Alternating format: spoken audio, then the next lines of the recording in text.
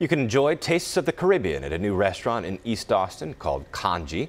They highlight cooking techniques, ingredients, and vibrant food from Jamaica, Puerto Rico, and Guyana. Tierra Neubaum joins us live from the restaurant with a look. Hey, Tierra, good morning.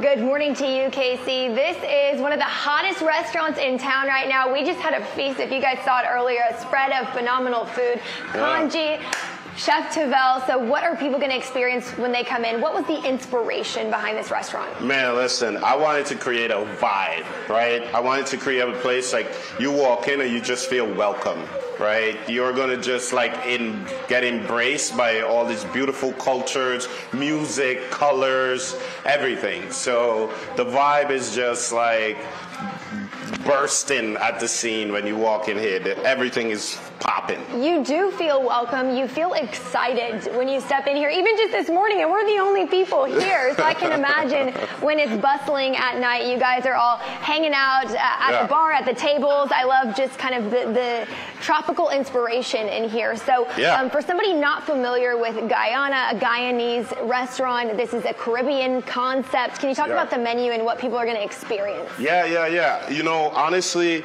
you're going to experience foods from all across the Caribbean. So we're touching like Puerto Rico. We're t- we got bacalaíto. We got uh, we got ceviche. We got uh, jerk chicken from Jamaica. We mm. got pepper pot from Guyana.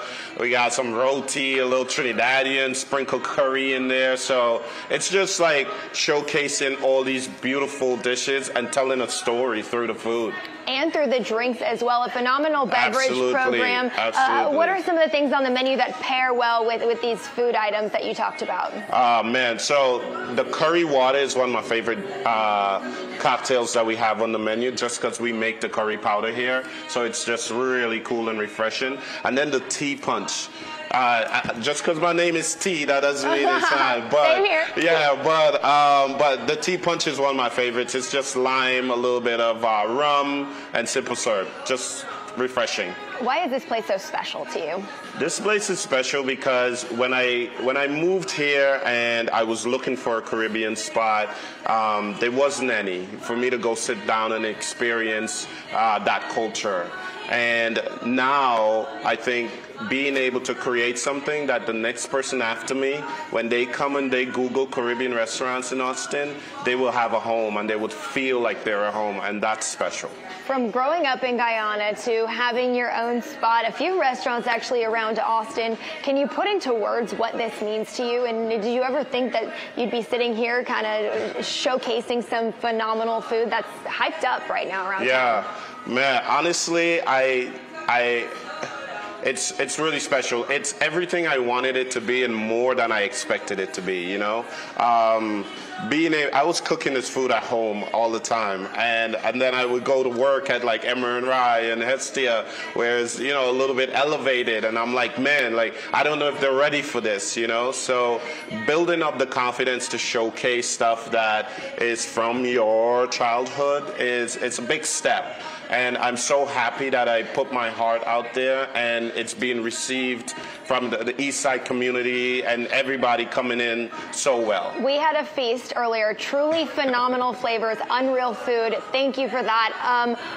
you guys have an event on Sunday. What's happening? Yes, yes, yes. So uh, we're celebrating Juneteenth. So Emmer and Rye Hospitality. Um, so all of our restaurants. Uh, we have six restaurants here in town, and basically we're taking the proceeds, uh, 10% of our proceeds across our um, restaurant group, and donating it um, to charity um, to trying to help, uh, you know, build the community and bring awareness to Juneteenth as best as we can. Yeah, some of those proceeds going to the Neill-Cochran Museum. Excited for yes. that. And uh, no matter what day you can come in here, you got to come to Canje Tavel. Thank you for hanging out gotta with us this come. morning. This has been so much fun and just such a vibe in here. And that's what you guys were looking to do. So we love it. And we'll be posting a link to make your reservation at fox7austin.com. Casey, click on the Good Day tab and uh, yeah, cheers.